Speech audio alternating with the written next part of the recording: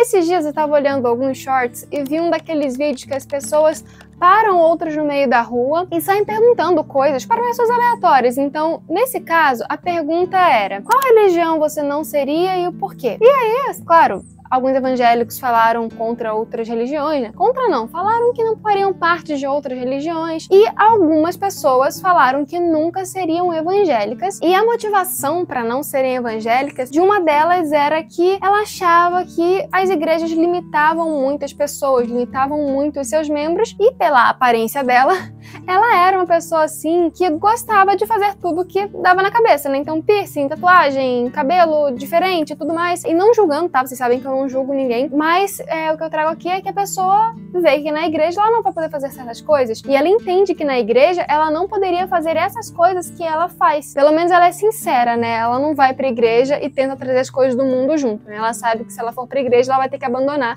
essas coisas do mundo. E aí eu fiquei pensando que, gente, eu entendo ele, sabe? Achei muito bonita, entre muitas aspas, essa parte dele realmente ser sincero e não ir para a igreja porque ele sabe que ele vai ter que abandonar certos comportamentos, mas ao mesmo tempo eu entendo que muitas vezes as pessoas olham para um cristianismo que não é o cristianismo verdadeiro e às vezes olha para o cristianismo verdadeiro e não entende ele e com isso ele acaba tendo essa ideia de que a igreja limita muitas pessoas.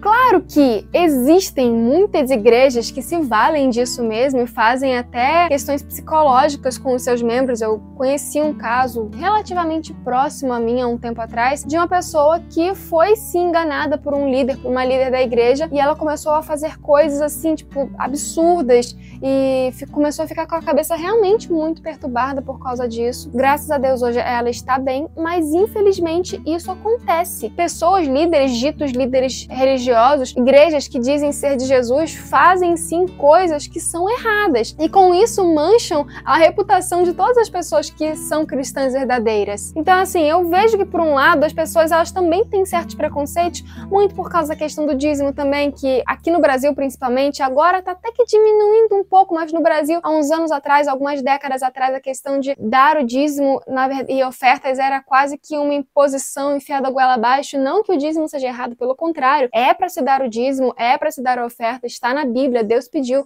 mas tem que ser feito da maneira correta. As pessoas estavam roubando os seus membros, tomando tudo, tomando carro, tomando casa, tomando a vida da pessoa, pra, quase, né, quase matando a pessoa de fome, prometendo riquezas se elas dessem o dízimo. E aí, claro que Deus não aceita esse tipo de barganha, essas igrejas falsas pegavam o dízimo e as pessoas continuavam na miséria e ficavam em mais miséria ainda. Então eu entendo sim, por um lado, que existem pessoas que acham que o evangelho, que as igrejas, elas são limitadoras e elas são manipuladoras por causa desses falsos pregadores, dessas falsas igrejas que realmente acabaram fazendo coisas erradas e já estamos entendidos, né? Teve pessoas que fizeram coisas erradas em nome de Cristo, da mesma maneira que na Idade Média a Igreja Católica fez mártires em nome de Cristo e Deus nunca, jamais aprovou isso.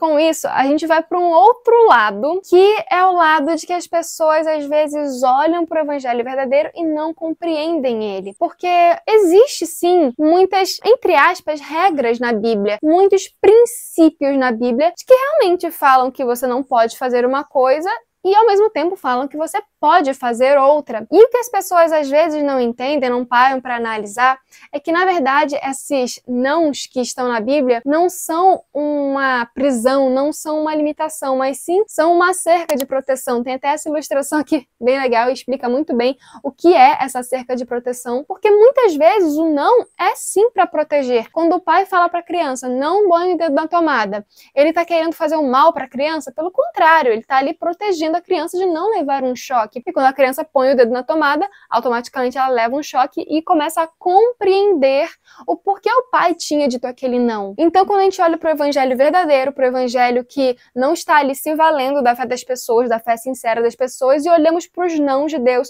olhando para as limitações que Deus colocou para nós, nós vemos que na verdade Ele está nos protegendo das coisas que vão sim nos levar à perdição nesse mundo. Não são coisas que simplesmente porque Ele não quer quer que você faça. São coisas que por A mais B tem uma lógica do porquê aquilo ali vai fazer mal para você mais cedo ou mais tarde. Quando Deus fala que não é para se embebedar, que não é para tomar bebidas fermentadas, né, bebidas que estão ali com o álcool na sua composição, é porque ele sabe muito bem, muito mais do que eu e você, muito mais do que todos os cientistas, que isso embota a sua mente, que isso tira você do controle de si mesmo, você perde o autocontrole. E você tem liberdade para perder o seu autocontrole se você quiser. Tanto é que Deus nunca proibiu ninguém de se embriagar. Mas ao mesmo tempo ele sabe muito bem que Satanás está do outro lado usando esses momentos para estar ali cada vez mais e mais cativando a mente da pessoa, literalmente levando em cativeiro e com isso, com uma falsa ilusão de liberdade, ele está ali levando a pessoa para a morte, para a perdição. Ah, mas por que Deus não salva essas pessoas? Simples, porque Ele quer levar as pessoas de consciência própria para o céu. Se a pessoa gosta de se embriagar aqui na terra, ela não vai ter álcool para se embriagar no céu. Não vai ser um céu feliz para ela. Você consegue compreender? Todos os não de Deus têm um motivo por detrás, um motivo que muitas vezes a gente não consegue compreender a princípio, mas que quando a gente começa a estudar um pouquinho mais, a gente compreende. É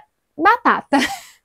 Sempre que tem um não de Deus, é porque aquela coisa vem do inimigo de Deus que quer ceifar as nossas vidas, ou aqui na terra, ou na vida futura, ou nos dois de preferência. Não quer deixar que nós venhamos a ter uma vida longa aqui na terra e principalmente não quer que nós venhamos a participar da vida eterna no futuro. Então, vamos, por exemplo, dessa pessoa que falou que com sinceridade até, eu creio, ele não via ele uma pessoa rebelde deliberadamente, ele estava sendo sincero, mas estava sinceramente enganado e sinceramente errado. Essa pessoa, ela disse: "Ah, eu acho que as igrejas limitam muito as pessoas. Primeiro que não é a igreja que limita, se a igreja está seguindo uma doutrina bíblica verdadeira, quem está limitando é Deus, quem está botando a cerca de proteção é Deus. Segundo que ele estava com piercing, provavelmente tinha tatuagem, que eu não prestei atenção, tinha um cabelo lá um pouco mais comprido, vamos dizer assim, mais roqueiro e tudo mais. Ele pode pode achar que isso não tem nada demais, sabe? Ele pode achar que botar um piercing não tem nada demais, afinal ele não tá machucando ninguém, não tá roubando ninguém, afinal ele não tá fazendo mal a nenhuma pessoa, ele pode até ser uma pessoa caridosa, eu não faço a mínima ideia qual é a história dessa pessoa, mas ele pode muito bem ser uma pessoa gentil, uma pessoa caridosa. O fato de ter uma tatuagem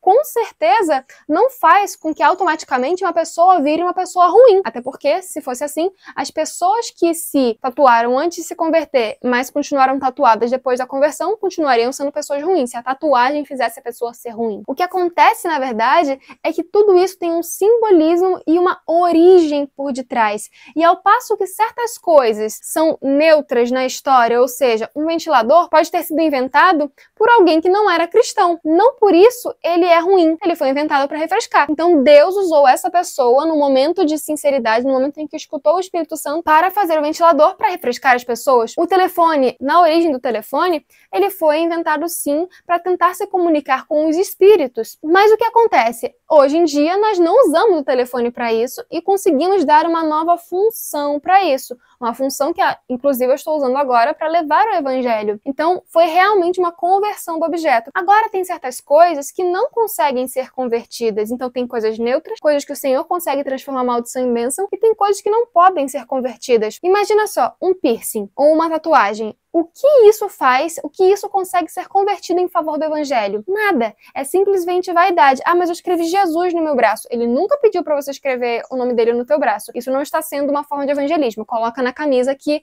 é muito mais modesto. E aí com isso a gente vê que essas coisas não conseguem ser convertidas. Então o piercing não tem motivação nenhuma além da vaidade e além daquilo que é a sua origem verdadeira que nunca foi convertida. Então, qual seria a origem do piercing? Sacrifício para os deuses, sacrifício para o inimigo de Deus, porque antigamente as pessoas se dilaceravam. Então a gente vai ver a história de Elias e os profetas de Baal. Os profetas de Baal estavam ali se dilacerando. Nós vimos já na história das joias aqui no canal que essas coisas todas tinham sim uma origem pagã ali em relação à adoração de deuses e tudo mais. Então nesse momento um piercing ele é também uma joia, né, no caso, uma bijuteria que seja. Ele é deliberadamente uma como se fosse um sacrifício do seu corpo para um deus pagão, que no caso todos os deuses pagãos são satanás escondidos por detrás. Então, Deus nunca pediu sacrifício humano. Ele nunca pediu sacrifício humano. Ah, mas Abraão, Abraão, ele pediu um ato de fé e no momento ele parou, ele não permitiu que o sacrifício acontecesse. Então Deus nunca pediu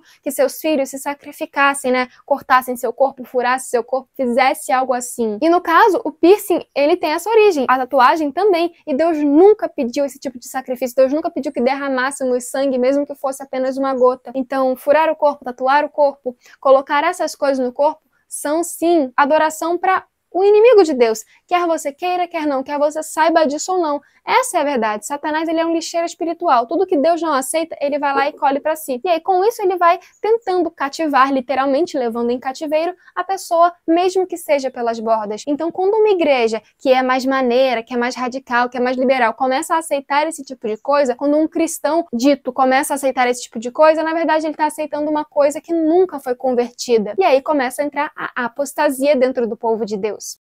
Então é isso. É por isso que Deus não permite que usemos piercing, tatuagem, porque é um sacrifício a outro Deus. E na Bíblia a gente está muito claro que não tem como servir a dois senhores. Ou vai adorar um e vai abandonar o outro. Não tem como servir a dois senhores. Nosso Deus é um Deus ciumento no melhor sentido da palavra. Ele quer a adoração toda para si, porque ele sabe muito bem que ele é o único que pode te salvar aqui na terra e na vida eterna. E ele sabe muito bem que se tiver uma mãozinha dada com Satanás, ele vai te puxar com todas as forças e vai te dilacerar nesse mundo e no vindouro. No caso, ele vai te arrastar junto com ele para o inferno e ali acaba a história do pecado. Mas esse é assunto para outro vídeo. Deus é um Deus gentil que não obriga ninguém a nada. Então, se você dá a mão, uma mão para ele e uma mão para Satanás, ele não vai te puxar para entrar no reino dele. Mas Satanás, ele é ladrão, então ele vai sim te puxar. E se Deus não está te puxando, Satanás tecnicamente vai ganhar esse cabo de guerra. E é por isso que Deus é tão enfático em dizer tantos nãos pela Bíblia, porque ele sabe muito bem que se dermos um dedinho para Satanás,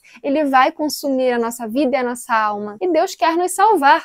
Então, toda essa limitação que a igreja coloca, quando vamos buscar ponto a ponto o porquê de cada uma delas, nós vamos entender as origens, vamos entender os motivos de Deus e vamos aceitar de bom grado e vamos ter força de Cristo para largar as coisas que precisamos largar. Eu larguei muitas coisas que eu nunca imaginei que conseguiria largar, graças a Deus, literalmente. Então ele ajuda. Se aceitarmos, ele ajuda. Então é basicamente isso mesmo. O não de Deus é apenas para sua proteção. E aí, quando você acha que não tem sentido, acha que tal coisa não tem nada a ver, como por exemplo, ah, não tem nada a ver adorar a Deus no domingo e trabalhar no sábado. Tem, tem muito sentido sim. Eu tô falando muito disso ultimamente, que eu tô lendo esse livro aqui, que eu já mostrei outras vezes para vocês. Ai, sumi da câmera, foi mal. Esse aqui, a história do sábado, do primeiro dia da semana, gente, ele é denso sim, mas tem hora que você engata na leitura e ele é maravilhoso, sabe? Eu já conheci a história do sábado, já guardo o sábado há alguns anos, né? Muitos anos talvez a metade da minha vida eu guardo sábado, mais da metade, mais da metade, a maior parte da minha vida eu guardo sábado. Então, aqui basicamente a gente só se aprofundou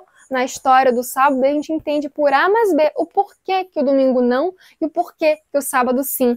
Então, indico a vocês a leitura, eu vou deixar o link aqui na descrição se eu lembrar. Você vai estudar quando você vê um não de Deus, quando você se deparar com uma limitação que a igreja propõe. Primeiro olha, pesquisa, vê se não é uma limitação realmente, né, no sentido da palavra, vê se não é algo extremo que Deus nunca pediu, como por exemplo, você ter que dar a sua casa para a igreja, sendo que Deus nunca pediu isso. Ou então vê se realmente tem um sentido, como o sábado que eu acabei de falar, como as joias que eu acabei de falar. Veja se tem algum sentido nisso do, de largar ou não e vá como os bereanos, sempre consultando a palavra de Deus, que é a única regra de fé. Só a escritura, por final de contas, né? Somente a escritura é a regra de fé. Pesquisa, dá uma olhada, vai ver como os bereanos, ora a Deus, pede auxílio ao Espírito Santo para entender as questões que você ainda não entendeu, que você ainda está entendendo. E é isso.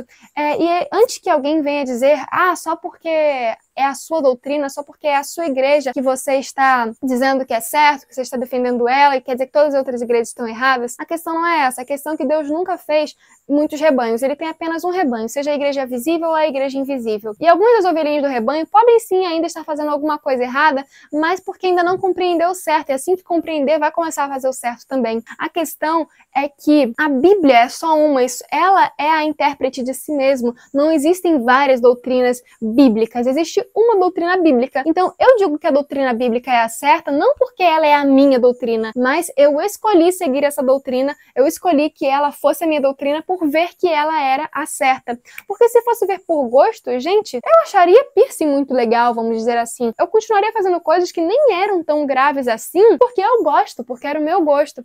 Mas o evangelho não se trata do meu gosto, se trata do gosto de Cristo. Por que isso? Porque ele sabe o que é melhor para mim e porque nós escolheríamos o caminho que ele tem para nós desde o começo se nós conhecêssemos o, o fim assim como ele conhece, já que ele é onisciente. Então é isso, deixa sua inscrição aqui no canal, a sua curtida, seu comentário para estar tá me apoiando aqui. E seja como beriano, vai estudar a Bíblia, vai entender as doutrinas bíblicas verdadeiras, toma essa decisão de consciência própria, não aceite uma coisa apenas porque fui eu que disse ou porque foi outra pessoa, porque foi o pastor que disse, afinal, só Jesus tem a verdade absoluta e eu estou buscando da fonte dele todos os dias, eu espero que você também esteja buscando da fonte dele todos os dias. E é isso, eu esqueci de me apresentar hoje, né? Então, muito prazer, o meu nome é Carol, você foi muito bem-vindo ao nosso céu estrelado. E é claro, fiquem com a graça e a paz de Jesus em cada um dos vossos corações. E até o próximo vídeo. Tchau!